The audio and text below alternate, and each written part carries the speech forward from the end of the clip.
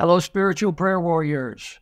Today is November 6th, the day after the big election, and I have a word from the Lord that I definitely want to share with you. Uh, some things pertaining to what's coming up over the next four years. But before I do, I want to offer congratulations to President elect Donald J. Trump and also to Vice President elect J.D. Vance. I also offer Thank you to the Lions Army warriors, you mighty warriors who took the righteous stand for America, and it's paying off. I also offer praise to the Lord Jesus Christ, the Lion of Judah, our leader, who roared and shifted the spiritual atmosphere of our nation. Praise the Lord. You know, Psalms 126, the first three verses. Ah, CK, my sweet wife, uh, gave to me this morning because she was so happy. And she said, This is what it feels like. And it reads, When the Lord brought back the captivity of Zion, we were like those who dreamed. Then our mouth was filled with laughter, and our tongue was singing. Then they said among the nations, The Lord has done great things for them. The Lord has done great things for us, and we are glad. Hallelujah. Yes, celebration in the camp. Praise God. So many wonderful things the Lord has done. But I want to share with you what the Lord spoke to me. And the reason is because this coming Sunday, I'm going to do an in depth, um, detailed teaching on what the Lord has been speaking to me about. But I wanted to at least give you a forewarning and give you an outline of these things. I really encourage you to tune in to our Sunday afternoon, 2:30 p.m. Pacific time, live stream, and uh, you get the the full thing. Hallelujah! There's much to rejoice over. I keep saying that because let me share some of these things with you, and you'll understand why. We know that from the very beginning, the Lord spoke to me. He sent an angel to tell me uh, in April of 2016 that the hand of the Lord was on Donald Trump. That angel said, The dogs of hell have been released against the one with the hand of the Lord on him. And then he described what they were. He said, Pray against false witness, hatred, and murder. Those were the dogs of hell.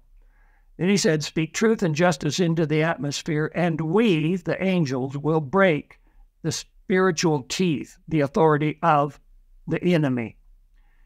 And so, false witness, hatred, and murder was launched against Donald Trump and against anyone who would support him. They lied about him.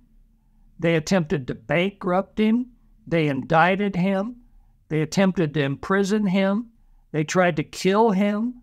They tried to destroy his destiny, what God had lined up.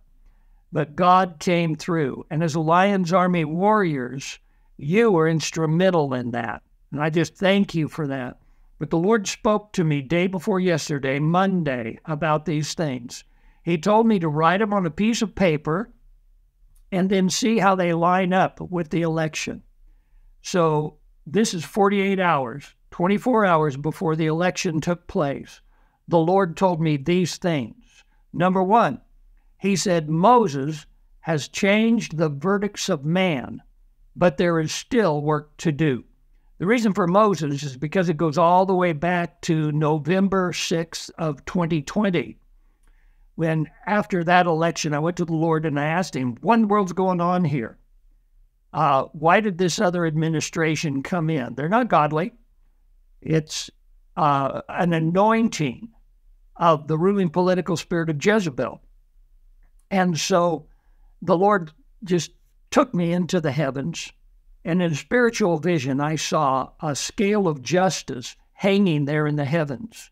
And they were out of balance, and there was a thumb on one scale pulling it down. And the Lord said, There's a thumb on the scale, and it is robbery.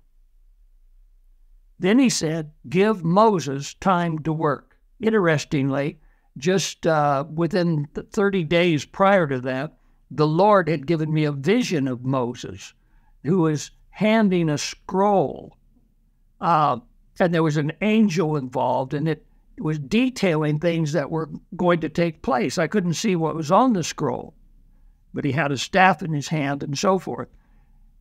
Moses, it wasn't him literally that I saw, but when God said, Give Moses time to work, he was talking about the laws in the courts of heaven.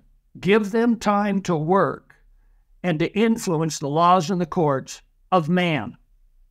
So Moses has changed the verdicts of man. Hallelujah. He's been working, but there's still work to do. The second thing the Lord told me is He said, Rejoice over the stay in judgment that would have come to the U.S. if it had chosen Jezebel's idolatry. I just scribbled these things down as he was speaking. In other words, there was a judgment held, and it would have been released if the outcome of this presidential election had not gone, gone the right way. So we can rejoice. He told us, rejoice. There isn't judgment. Now there's going to be some wonderful things. In fact, number three, he said there is a release of radical prosperity and evangelism that's going to happen in the United States. And then also it'll influence the world. What happens here influences the world. That's very important to know. As far as prosperity goes, it'll be national and it will be individual. So go ahead and get ready for it as it plays out. Evangelism. There's going to be radical evangelism, a lot of uh, outpouring of the Spirit of God, revival, spiritual awakening happening in America. You just watch because this whole shift that's happened in the spiritual realm and is manifest now with this new administration coming in. Because remember, this is all about revival. It's about spiritual awakening, mass evangelism. I've been saying this since 2016. That's what the Lord said. And so it's coming to pass. Get ready for it.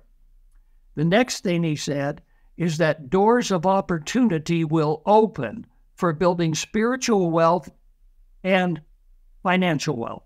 Spiritual wealth is not only evangelism, but it's it's among the body of Christ and the Lion's Army. Uh, he's going to take us into a new decade. The spiritual dynamics and blessings of God, revelations, visions, dreams, uh, moving with angelic beings and encounters and and power and miracles and souls won. I mean, the list goes on. Just dramatic things are going to happen. But also financial wealth. God wants you to build financial wealth. He said it's important for us now because these doors are going to open to number one, discern, then number two, seize, then number three, manage. So discern the doors, the opportunities that come. Number two, then seize them. You got to do that by faith and by authority. Step out what the Lord, uh, through the Holy Spirit, tells you personally. And then you have to manage it.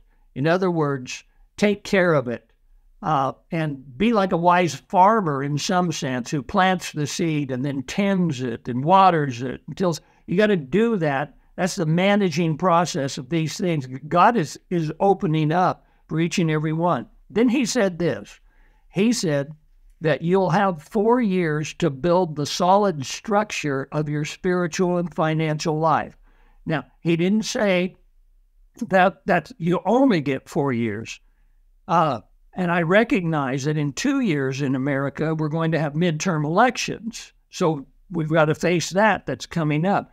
But he specifically said four years to build the solid structure for your spiritual and financial life. In other words, get everything in order, build the foundation, the walls, the roof, so that in the future you're in good stead from here on out.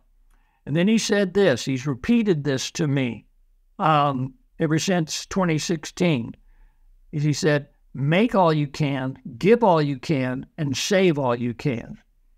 Uh, in other words, there's a responsibility for the kingdom and also for your family and in the body of Christ as He keeps covenant fulfillment for us to actually do it right. Make all you can.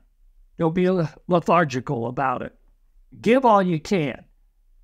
You know, support the, the poor, um, support ministries, anointings. You have opportunities of giving into ministries that are leading. Praise God. So, uh, you know, and what you give, you'll reap back again. Praise God. And then save all you can. In other words, investments, savings, different things. You got to be wise with all these things. That's what the Lord's saying. Why? Because He used the word wealth. He said doors of opportunity will open for building spiritual wealth and financial wealth. He wants you to have both kinds of wealth. Praise God. Hey, I'm I'm heeding this, CK and I. We're going to be active in everything I'm telling you. And then the last thing he said is Lion's Army, finish the campaign. The war isn't over yet. So praise God. Great things are happening. It's time to rejoice. And I'll explain so much more this coming Sunday. But let me also recommend that you go watch last Sunday, November 3rd. I taught on the prophetic resistance movement and I laid out what is happening, an overall understanding, an umbrella of revelation of what the Lord is doing right now and how to take a stand. And we are the ones that are resisting the enemy's tactics. And finally, I would like to recommend my book, The Lion's Army.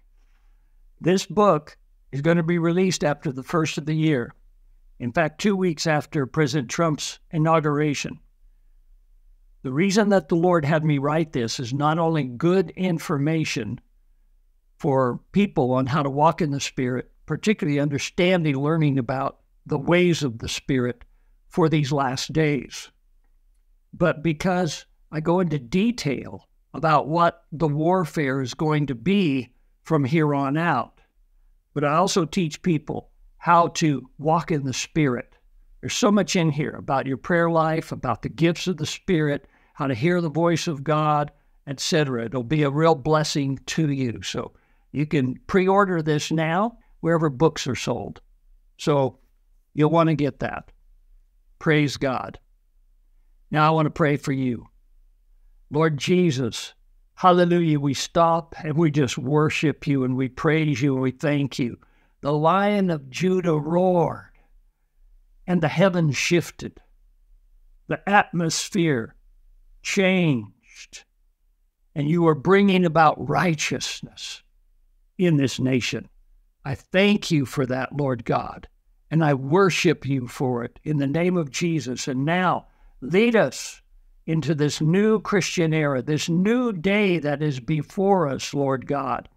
And I pray for every one of those viewers who are part of the Lion's Army. Lord God, that you would bless them with physical strength, with healing, that you would bless them with financial prosperity, that you would open these doors for every single one of them that you have planned to bring us to this new day of victory in our lives. God bless each and every one of you. You are such a blessing to CK and I. And I do want to also say, please like this video and subscribe to our channel. Would you do that? And if the Holy Spirit is moving in your heart to sow an offering into this ministry, the link to our website is in the description do so, and God will bless you with the prophet's reward.